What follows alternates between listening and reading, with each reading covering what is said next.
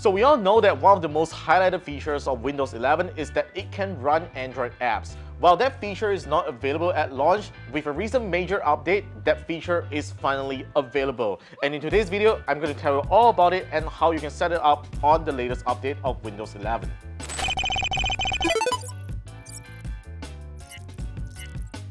Alright, so before we get started, you need to make sure that your computer complies to the specifications that Microsoft wants. Now, if you are on Windows 11 now, most likely you are already on a supported processor and have at least 8 gigabytes of RAM. Because if you don't have that and you force install Windows 11 on an older PC, this feature might not work well. So just take note of that. Now, first of all, before we get the uh, Amazon App Store update, we will have to install this cumulative update for Windows 11, uh, which is the KB5010414 that you're seeing on the screen right now.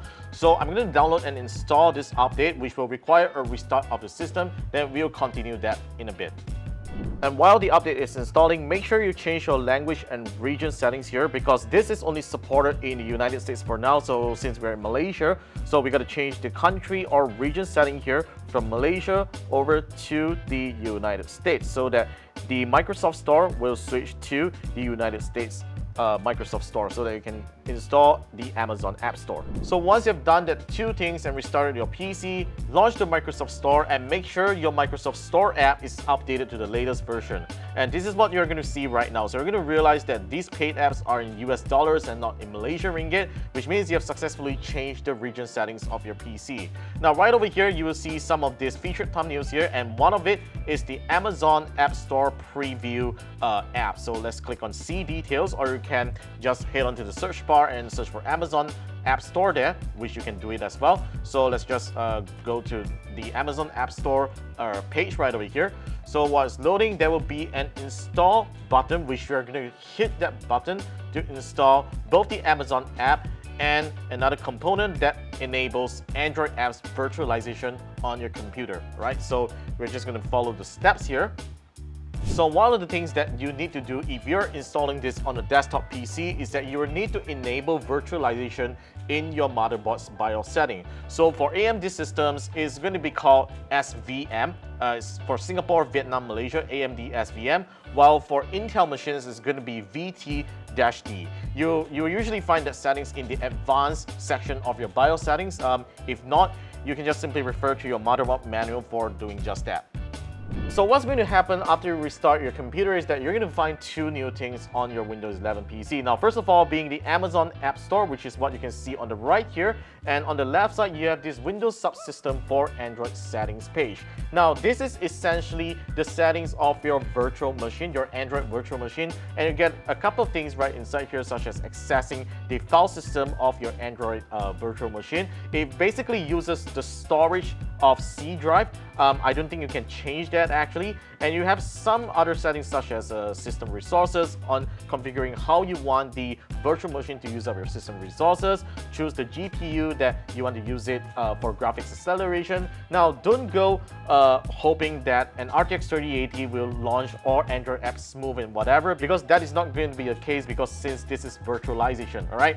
So I have developer mode turned on right over here because we are going to do uh, a side load APK in a bit, which I'm going to show you using ADB.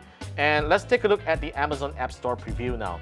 So Microsoft says that there is about a thousand apps and games that is available at launch, which is pretty limited by all means, and these are some of the apps that you can download onto your Windows PC. So it's pretty simple. All you need to do is to click that blue get button and it will be installed onto your Windows PC in no time. So after you install an app, okay, as you can see, the performance is kind of uh, slow in a bit because it's actually running on uh, virtualization mode. So um, what after you install an app, uh, we already installed WSJ on our Windows PC here, and it will appear on the recommended section over here. So let's just launch the WSJ app, and it launches pretty well. So I think this is actually pretty useful for computers with touchscreen. Now imagine if you have a Windows PC with a touchscreen and you can't really use a lot of apps because let's face it, most of the apps on the Microsoft Store sucks and they don't really work well with touchscreens. So you might be better off installing an Android app on your on your Windows PC if you actually want to use it, which I think is a really convenient feature for those who actually can take advantage of it. And now, let me show you guys on how you can install an APK onto Windows 11. Now, of course, first of all, you will need to download the Android SDK platform tools from Google's website. And if you don't have that, I've actually linked it down below in the description so, that you can just go download. And once you've downloaded it, this is going to be the zip file, which is the platform tools R32-Windows extract the folder and I would recommend that you rename it into a simpler name and copy and paste it into your C drive which I've renamed it in as Android right over here right? Because we are going to use uh, the command prompt to sideload APK and meanwhile I've already downloaded the APK Pure APK which is a third-party app store because let's face it the Amazon App Store preview sucks so we're going to install a third-party app store onto our Windows 11 PC right here. Next let's just run the command prompt. So before you do anything, make sure you click right click on the command prompt app and run as administrator. Alright, and once you're in command prompt, execute the change directory command and we are going to go over to the platform tools directory that we have just set earlier. So in my case, it is going to be cd android cd platform tools and we are going to first connect to the virtual machine using the adb connect command. So let's type adb connect and let's type the IP address of the virtual machine that is shown on the left side here and we can tap enter so it's going to start up ADB and yup, it started up successfully. Next, we can finally execute the ADB install command. All right, so let's type ADB install APK pure. And just in case you don't want to type the full name, just tap, tap on tab on your keyboard. Let's tap on enter right? It's performing stream install and it's done. It's even faster than a smartphone, right? And once you do that, the APK app is now on your recommended section on your start menu and let's launch it, right? So there you go.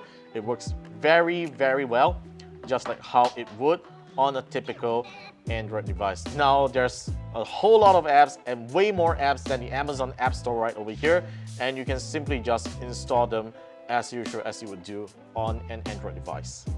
So there you have it. This is how simple and straightforward it is to get Android apps running on Windows 11. It only takes a few steps and I'm sure you can do it similar to me as well. Now as you can see right over here, I have three Android apps running in the background right now and this is kind of impossible with any Android smartphones or you know pretty much other Android tablets except for Samsung's uh, uh, feature on Samsung tablets. As you can see, I'm running three apps concurrently right now and I can say that the performance is pretty good, except for gaming. Now, if you're intending to use it for gaming, it will not work well because this is virtualization technology. The GPU performance will therefore be limited and not optimized to every single game. So if you really want to game Android apps on your computer, uh, you can download an app called BlueStacks, which is technically another Android virtual machine that is more optimized for games and has proper graphics acceleration.